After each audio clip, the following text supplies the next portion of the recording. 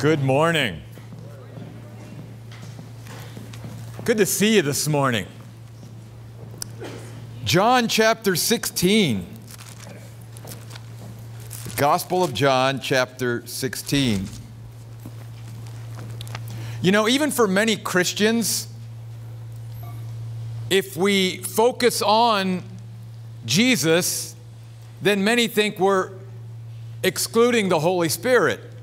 And if we're focusing on the Holy Spirit, then we're excluding Jesus. And nothing could be further from the truth. It's never a proposition of either or with the Trinity, who are three distinct persons in one God. It is both and. In other words, as we understand uh, the Holy Spirit, then we actually draw closer to the Lord Jesus. And we're going to see that very clearly here in this passage out of John chapter 16. I want to first direct your attention to verse 1, where Jesus here has been preparing his followers for him going away. And he says to them, I have told you all these things so that you will not fall away. This is not so much speaking about spiritually falling down as much as it is standing away from Him. That's what the words in the Greek language literally mean to stand away from Jesus. In other words, Jesus never leaves us, He, he never distances Himself from us. We're always the one that if, if we don't want to be this close to Jesus, that we're the ones walking away from Him. He never walks away from us. And Jesus here is saying to His disciples, I'm going to tell you these things because I want you to stay near me. I want you to stay close to me. In fact, even earlier in John 15, in that great passage of the vine and the branches, Jesus says, Remain in me, abide in me, stay close to me, do not distance yourself from me. And he's going to tell us here, as well as he told his own disciples, that the way that you and I can do that is through the presence and ministry of his Holy Spirit. That's why Jesus could say to his followers when he was getting ready to go away, You're going to be in me, and I'm going to be in you. Well, how is that possible, Jesus? You're going to be at the right hand of God the Father. You're going to ascend back to heaven. How can I be in you and you in me? Through the Holy Spirit. And it will be the ministry and presence of the Holy Spirit who brings us close to Jesus, who helps us stay close to Jesus, to remain, to abide in fellowship with Jesus Christ. That's what this is all about. In fact, you'll notice down in John chapter 16 and verse 13, Jesus says, When He, the Spirit of truth, comes, He will guide you into all truth. He will lead you into truth. He will show us the way into what real reality is, which is what the word truth really means. Well, we know Jesus even said, I'm the way, I'm the truth, I'm the life. So if the Holy Spirit is guiding us into all truth and Jesus is truth, then we know again that we are coming closer to Jesus as we allow the Spirit to guide and lead and show us the way into Jesus. Then he goes on to say this, verse 14 He, the Holy Spirit, will glorify me because he will receive from me what is mine and will tell it to you. So we see the, the, the symbiotic sort of relationship between the Spirit and Jesus. He's going to, he's as close to me as anyone can be. Uh, he's going to receive from me, uh, he's going to tell it to you, and he will glorify me. What's it mean for the Spirit to glorify Jesus? It means he will enable us to see Jesus Jesus for who he really is. That he really is God, that he is the Son of God, that he is the Savior of the world, that there is no salvation in any other name under heaven given among men whereby we must be saved than Jesus Christ. Which leads me to this first sort of point, and that is that you and I can't even come into a relationship with Jesus apart from the Spirit. And many, even Christians, sometimes they're praying for, say, people that are unbelievers or unsaved, and, and they look just at the externals. And, and, and, they're going, God, I'm, I'm praying for this person who's not a Christian, and it doesn't seem like you're doing anything. It doesn't seem like you're drawing them to yourself or that you're bringing someone or something into their life to, to bring them closer to you so that they're not standing so far away in unbelief. And we've got to remember something that you and I can never see the internal ministry of the Holy Spirit that is happening inside a human being at the heart, soul, spirit level, call it whatever you will. You and I can't see that. And yet, every one of us who are here today that are believers in Jesus Christ, there were times in our life, way before we became a Christian, way before we actually placed our confidence and faith in Jesus as our Savior, that the Holy Spirit was working internally in our being drawing us to Jesus. And that's exactly what Jesus says. And that's why he wants us to be encouraged, just like he did his disciples. That though you and I cannot see the ministry of the Holy Spirit, we know that he's working. Notice what Jesus says in the middle of verse 7. He says, For if I do not go away, the advocate, another again term for the Holy Spirit, our supernatural helper, will not come to you. But if I go, I will send him to you. And when he comes, the Holy Spirit, he will prove, the word means to convict and convince. He will prove the world wrong concerning sin and righteousness and judgment.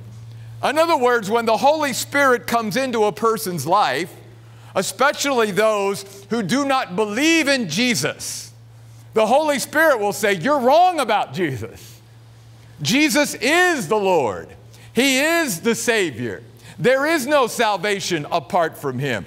And then He will go on to say to us, You're a sinner in need of a Savior. You stand before God condemned in your sin. And yet God has provided a way of salvation. His name is Jesus. And your righteousness, your human rightness, your, your good works can never secure a relationship with God. The only righteousness that God will accept is His own. And that's why you and I must place our faith in the only one that can stand before God in His righteousness acceptable, and that's Jesus Christ. Without Jesus, we stand in judgment because we have rejected God's way of salvation, the one who takes our judgment for us and did so on the cross when he died for our sins. Instead, we tell God, No, God, I'm, I'm fine without your son, Jesus. I'll let the chips fall where they may. And if that means that I have to accept judgment for myself, then I will. And that's what the Holy Spirit does, though. He is continually working internally in anyone who doesn't believe yet in Jesus Christ, saying, No, no, no, don't, don't go that route.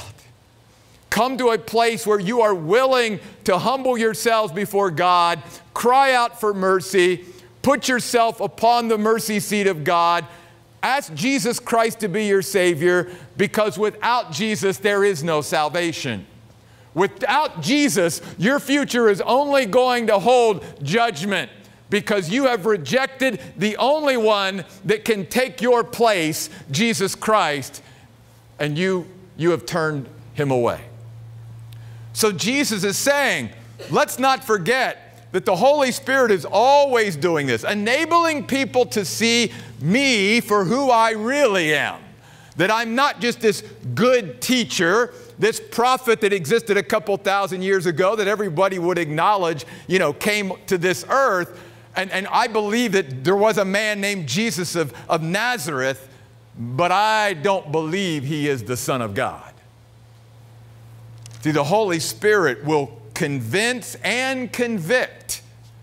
He will convict us that we are wrong about Jesus, we are wrong concerning sin, we are wrong concerning righteousness, we are wrong concerning judgment, and that we've got to align our understanding and belief according to what God has said through Jesus and through His Word, and make ourselves right before God by accepting Jesus Christ as our Savior. This is the first thing. This is how then the Holy Spirit can take someone who's so far away from God and bring them close to God so that they're not standing away from Jesus. That's always what the Holy Spirit wants to do. He wants to bring us closer and closer to Jesus. We even see this with one of the great disciples of Jesus, Peter. Because even though the Bible is describing Peter physically, it's also sort of an insight into where Peter was spiritually, if you will, at that moment. When right before Peter denied the Lord three times, and Jesus told Peter, because of your pride, you're going to fall away from me. You're going to stand away from me. And the Bible says that at that moment, Peter kept his distance from Jesus. That's what it says in the Gospel of Luke. Peter kept his distance. He was standing way away from Jesus. And then all of a sudden, what happens? He denies that he even knows him. Because at that moment, though he believed in Jesus, He's the one that said, you know, Jesus, you are the Son of the living God. That at that moment, he wasn't close to Jesus at all. He was standing away from Jesus and therefore denied Jesus. And that's why Jesus is saying here, I'm telling you these things so that you won't fall away, so that you won't stand away from me, but that you'll get as close to me as possible. And all that happens through the presence and power and ministry of the Holy Spirit. In fact, in this, let me share these three things that really the Lord zeroed in to me to share with you today. One thing is this that through the presence and ministry of the Holy Spirit, we will be able to see things that we normally or without His aid could never see.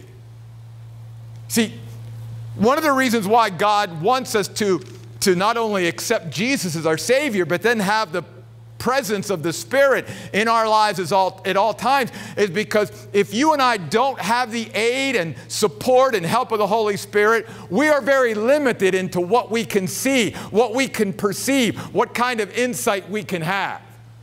That, in a sense, as a human being, our, our, our limitation is like seeing the iceberg. That, that all we see is what exists above the waterline, and yet the majority of the iceberg actually exists below the waterline. And so there's great limitation to us.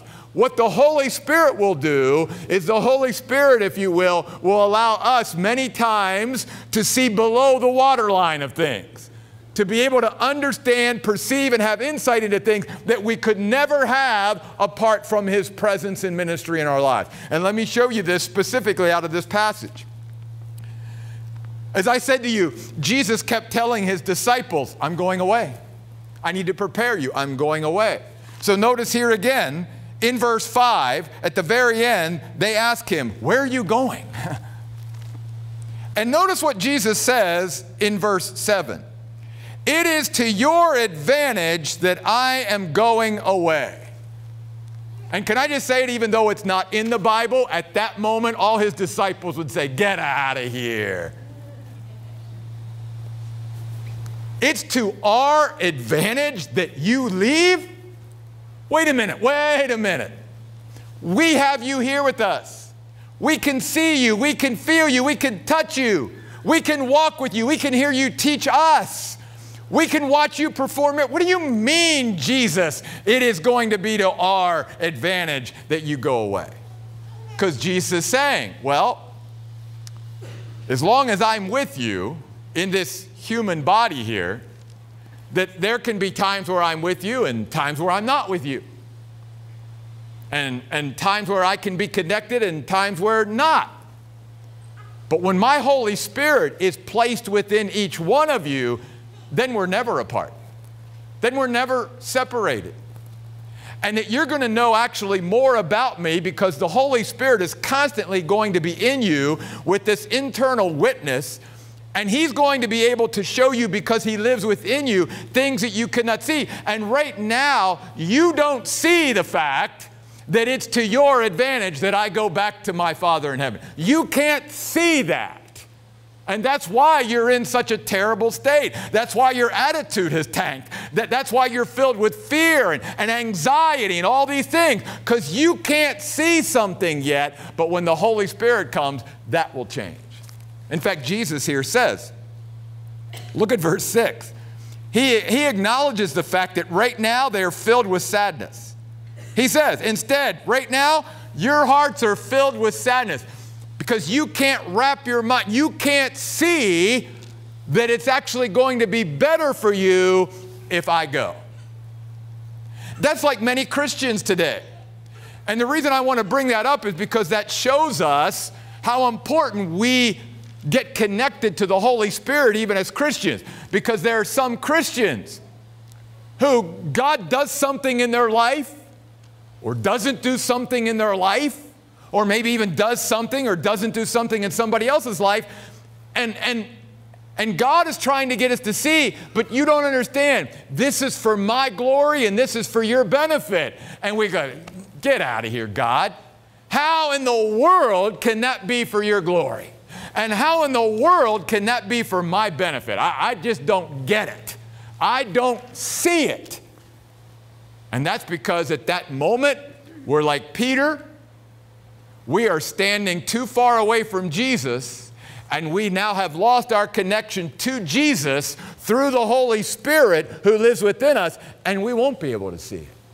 And we'll be like the disciples, that even though we can believe in Him and know who He is, we can still be filled with anxiety and, and sadness and all these things because we can't see what only the Holy Spirit can make us see and cause us to see. But Jesus doesn't leave it there. He gives them a promise. Look over in verse 20 of John 16. He says, I tell you the solemn truth, you will weep and wail, and the world will rejoice when I'm hanging on that cross and when they lay me in that tomb. But he says, You'll be sad at that point, but notice this your sadness will turn into joy. See, you don't see this yet.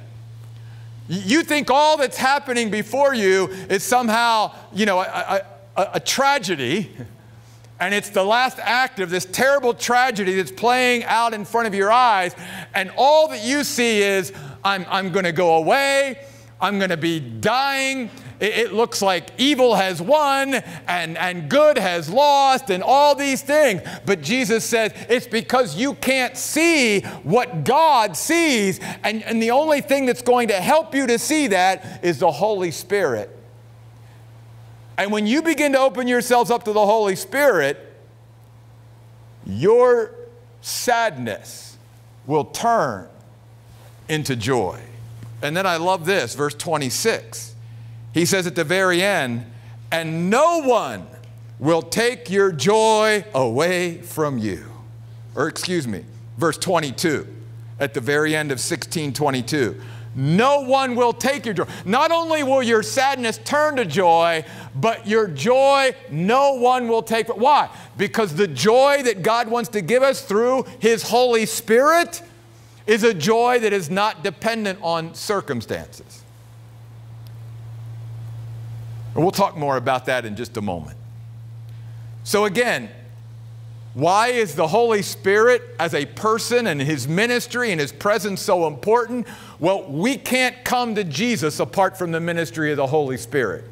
He's the one who God brought into this world to convict the world of sin, of righteousness, and judgment. He's the one that enables us to see who Jesus really is. That he's not just a man, that he wasn't just a good teacher, that he wasn't just a good example, but he was the Son of the living God, the Messiah, and the Savior of all the world.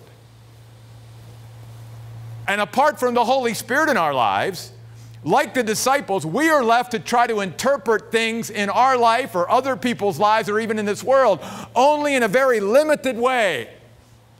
Only in what we can see and what we can perceive in, in, our humanness. And our humanness is very limited into the insight that we have into things. God is totally unlimited because God sees the end from the beginning.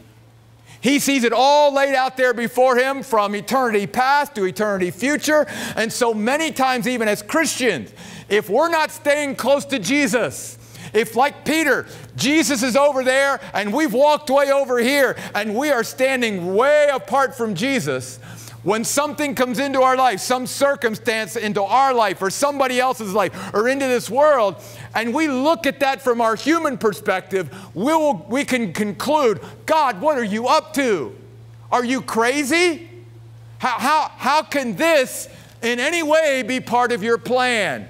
And we eh, react the same way that the disciples did when Jesus said to them, it's actually going to be advantageous to you. It's actually going to be beneficial to you. It's actually going to be more profitable to you when I leave you. Jesus, how can that be? When you and I allow the Holy Spirit to minister in us, that He can show us things that we could never see apart from Him. That through Him we can see God works all things together for good to those that love Him and are called according to His purpose. If we don't allow the Holy Spirit to be ruling in our life at that point, we can't see that. But a Christian who allows the Holy Spirit's presence to, to take over, we can begin to see those things that humanly we could never see. But there's something else. The Holy Spirit not only enables us to see things we could never see, He allows us to do things that we could never do. Go back with me to John 15. I'm going to run up to chapter 16. In John 15, verse 26, Jesus says this about the Holy Spirit. When the advocate comes, the Holy Spirit, the supernatural helper, whom I will send you from the Father, the Spirit of truth, who goes out from the Father, he will testify about me. He will be a witness, literally, he will give evidence. That's what the word witness or testify means. And then notice what Jesus says in the very next verse, the last verse of chapter 15. And you also will testify. You will become a bold and effective witness for me because you have been with me from the beginning. You've accompanied me. You know me. See, Jesus calls upon those who know him best to witness about him. Because Jesus doesn't want people that really don't know him to somehow testify about him any more than you and I would like it when someone that doesn't really know us they don't know us. They don't know our heart. They don't know our motivation. They don't know what we're really thinking when they judge us. We don't like that, do we? That's unacceptable. If they knew me, if they know what was in my heart, if they knew what was in my mind, if they knew what was motivating me, they wouldn't say those things about me. Well, guess what? The same thing is true with Jesus a hundredfold throughout the world. When people who really don't know Jesus start testifying about it and actually bring discredit to him because they misrepresent who Jesus really is because they don't know him. Jesus wants those who really know him to testify and witness. And not just to testify and witness and give evidence of who he really is, but to do so effectively and boldly. Well, then why does Jesus link the ministry of the Holy Spirit when he says, And when the Holy Spirit comes into the world, he will testify of me. Oh, and you will too, because Jesus is linking the two, saying that it's only through the ministry of the Holy Spirit in our lives that we will become a bold and effective witness for Jesus Christ. That we won't be intimidated, that we won't be, uh, feel inferior, that we, won't, uh, that we will not lack the boldness and the courage to be able to stand up for Jesus and tell the truth about who Jesus is, no matter what we may face. Because if you notice the context of what Jesus has just said, go back up with me a little bit further in John 15 and look at verse 18. Jesus has now said, If the world hates you, be aware it hated me first. And I tell you, if you belong to the world, the world would love you as its own. However, because you do not belong to the world, but I have chosen you out of the world, for this reason the world hates you. And remember what I told you a slave is not greater than his master. If they persecuted me, they will also persecute you. The reason why Jesus hadn't said anything up to this point, before he was going away, is up to this point, Jesus was able to sort of be the focus of the animosity and hostility of the world. But Jesus understood when I go away, guess who's going to be the focus and hostility of the world? Not Jesus, because he's not here anymore. The focus uh, of the animosity and hostility towards Jesus will now come upon his followers. And Jesus is saying to his followers, I need you because I'm the only hope for this world. I, am the only one that can set men free from their sin. I, I'm the only one that can transform a heart and a life. So I need you to be a light. I need my people to stand up for me and be a bold and effective witness and be willing to testify of me. But I understand, and you need to understand, it's not going to be in a friendly environment. You, are going to have to have the courage and boldness to do it in the midst of a world that's going to hate you and persecute you and mock you and scorn you and laugh at you and make fun of you because you are a follower of me. Because if they did it to me, mark it down, they're going to do it to you. And the only way that we as Christians and as churches will be willing to stand up in the midst of that kind of an environment and not be ashamed of the gospel because it is the power of God unto salvation is when the Holy Spirit is empowering us to do so. Let me give you an example from Scripture. Keep your finger in John 15 and 16 and go with me to the book of Acts, chapter 6 and chapter 7. I know these passages pretty well because when my wife and I were having children and we were deciding on names for our children, our firstborn, I love this man and his example so much, that's what we named our son. Some of you might know that guy over there. His name is Steve, Stephen. Look at Acts chapter 6. Look at what it says about this man, Stephen, in verse 5. They chose Stephen to be part of the leadership of the early church. And notice how it describes him. He is a man full of faith and of what? A man full of the Holy Spirit. And then, beginning in chapter 7, Stephen stands up to all of these religious leaders and all of these people of the world who have such animosity and hostility toward Jesus. And man, he starts to preach. I mean, he just opens up the Old Testament and he starts to preach. Guess what happens? At the very end of his sermon, in verse 51 of chapter 7, notice what Stephen says. You stubborn people, you un with uncircumcised hearts and ears, you are always resisting the Holy Spirit. The Holy Spirit's trying to get through to you. The Holy Spirit, like Jesus talked about, He's in you. He's trying to convict you and convince you of who Jesus really is. He's convicting you of sin and of righteousness and judgment. He's trying to get you to line up with the things of God, but you are pushing him down. You are resisting him. Your heart is impenetrable. You are not allowing the Holy Spirit to influence you. And because of that, we know what happened to Stephen, right? Look at verse 54.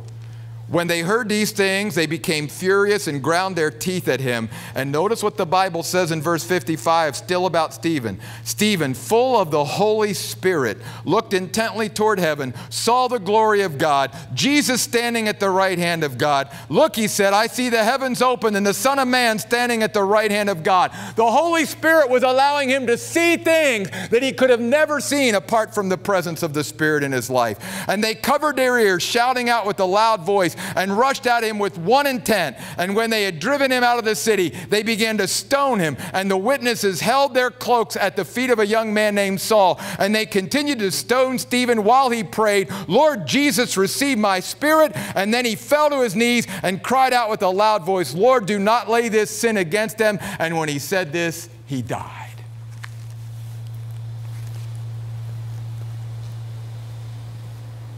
Notice something I love in this passage. When we are willing to stand up for Jesus, Jesus stands up for us. I love that picture when it says, He saw Jesus standing up in heaven. And what this shows us is that God will not keep us sometimes from the hostility and, and, and hatred of the world. In fact, that's why the word witness actually is where we get our word martyr from. Many of the people and Christians down through the ages, in fact, even Christians to this day in certain parts of this world, are literally dying for their faith in Jesus Christ. Dying for it. How can they be such a bold and effective witness? How can they be willing to testify and give evidence to Jesus in spite of the world in which they live through the presence and power of the Holy Spirit? You and I will shrink back. We will be like Peter. And if we are not staying close to Jesus and therefore allowing the ministry of the Holy Spirit in our life, we will shrink from any kind of situation like Stephen found himself in. You know, we'll go back to, I just want everybody to like me. I just, I, I, I don't want to, you know, be too much of a Jesus fanatic because people will start talking about me. Yeah. And can I say, when we as Christians have those kind of attitudes and those kinds of thoughts, we're not connected to the Holy Spirit. Because when we are full of the Holy Spirit, we will have a bold and confident and effective witness for Jesus. Not obnoxious, not trying to shove our faith down people's throats, but we certainly will never be ashamed of Jesus or ashamed of the gospel of Jesus if we are filled with the Holy Spirit. Because we understand that it is only Jesus and only His gospel that can save humanity. And the one thing humanity needs more than ever is Jesus Christ. And that's why it, it, behooves us as the church, as those who truly know Jesus, to stand up for him and to speak about him more than we ever have before. Because if the world ever needed Jesus, if the world ever needed a Savior, it's now. By the way, they're, they're not my notes for today, so. they're actually notes for many, many months from now. One other thing. Go back to John 16. Wow, time gets away from me when I'm talking, doesn't it? I want to look at verse 33 of John 16. Jesus says to his disciples, too, I have told you these things so that in me, and that's really important, you may have peace. Notice Jesus doesn't promise his followers peace, but he offers it which is again is why many Christians don't have joy. It's not because they don't have Jesus in their life. It's not because they don't have the presence of the Holy Spirit in their life, but they're not connected to the Holy Spirit. They're not walking in the Spirit. They're not filled with the Spirit because it is as we allow the Spirit to take over our lives that we can have joy apart from circumstances and we can have peace in Jesus apart from circumstances. So that's why Jesus doesn't say you will have peace. He says you may have peace. In the world, notice, you will have trouble and suffering, but take courage. Radiate strength and confidence is what the words mean. I have conquered the world. I have overcome. I have prevailed. I am victorious. And if you and I are in Jesus and Jesus has conquered, then you and I can conquer too. So, what we are learning here is this with the Holy Spirit, the Holy Spirit can bring us to Jesus. And more than that, He can enable us to see things we could never see, do things we could never do, like be a bold and effective witness. And He can help us to overcome things we could never overcome without Him. That's so important. Because many, even Christians today, they're living defeated lives, not lives of victory. They've allowed something to come in and get a hold of them that's got the better of them rather than prevailing over it and overcoming it and conquering it. And Jesus is saying, You realize that as you stay close to me, that in me, that even though in reality you're going to have trouble and suffering, and I love the fact that Jesus is just so straightforward with it. He doesn't say, Look, you're never going to have any trouble or suffering if you follow me. He doesn't say that. He says, As long as you exist in the world, you're going to have trouble. You're going to have trials. You're going to have tribulations. But through the presence of the Holy Spirit in your life, you can overcome that.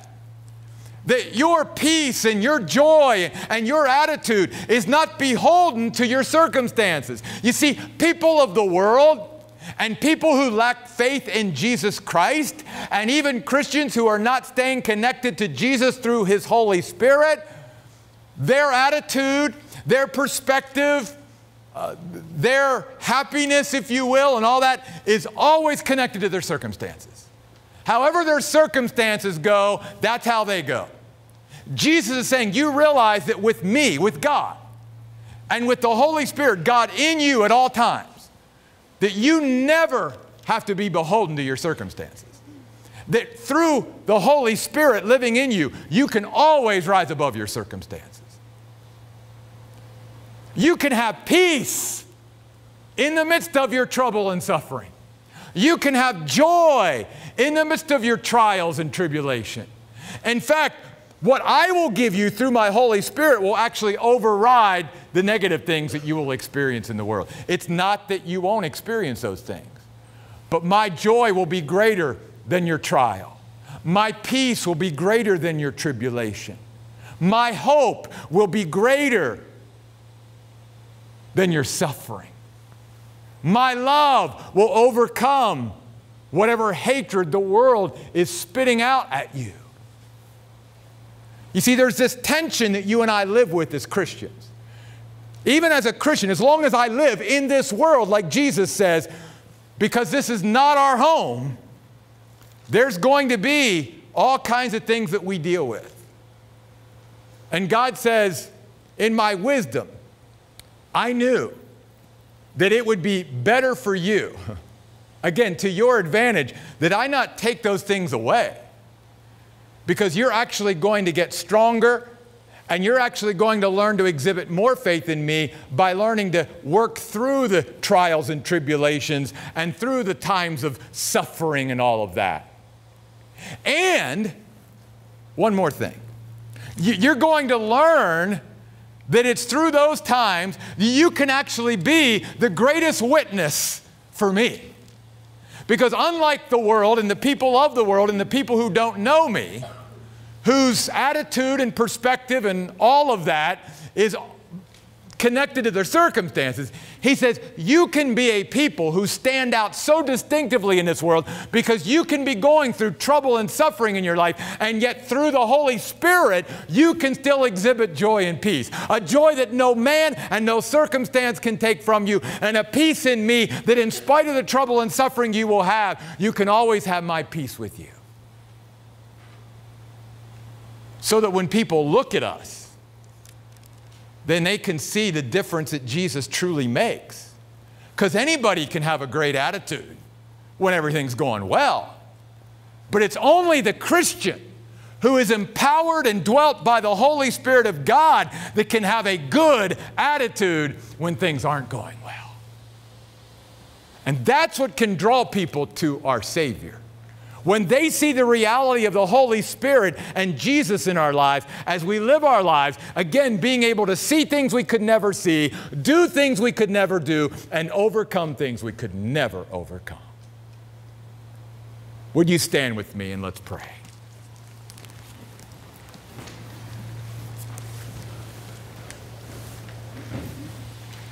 God, I ask today that you would take this message and help us to come closer to you today, Jesus.